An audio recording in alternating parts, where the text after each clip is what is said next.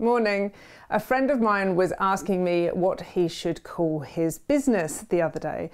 Now, he works in kitchens and he was wanting to know whether he should uh, call his business uh, around the geography plus what it is that he does, i.e., Watford Kitchens, um, or whether he should name it after himself and the fact that he does kitchens, um, himself establishing himself as a little bit of a personality.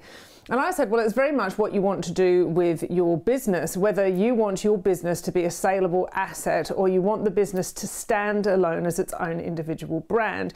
Now, I'm talking for most of us normal sized business owners here, whereby the fundamental uh, thing that we want people to be able to do is to find our business and find out what we do. So, for example, if um, I had a kitchen company in Surrey, for example, um, having Guildford Kitchens on the front of it, if I typed Guildford Kitchens into the um, Google strip, then the likelihood is, is that Guildford Kitchens is exactly what would come up.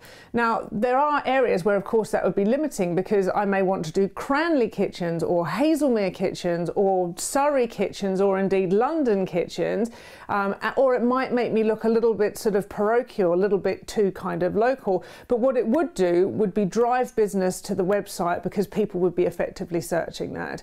Um, is it uh, glamorous in terms of a um, trade name? Not necessarily. So that is a business with those kind of smaller limited ambitions.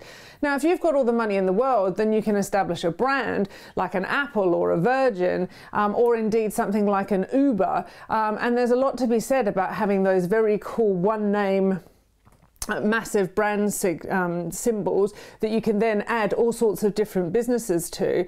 But I guess it's just a matter of whether you're establishing a brand or if you're establishing something that will lead to leads effectively being generated via your kind of website.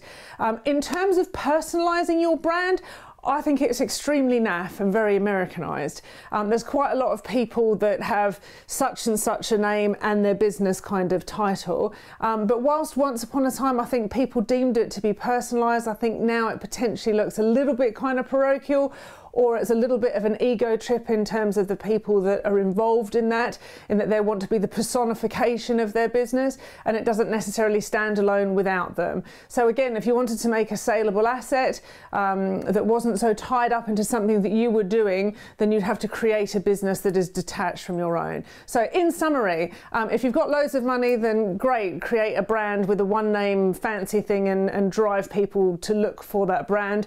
If you're looking to generate leads with your business, business, then where you are and what you do is a really good place to start. Hope that helps in terms of your naming of your new companies. Take care.